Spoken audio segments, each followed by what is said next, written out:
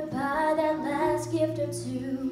Not really in the Christmas mood. Standing right in front of me was a little boy waiting anxiously, pacing around like little boys do.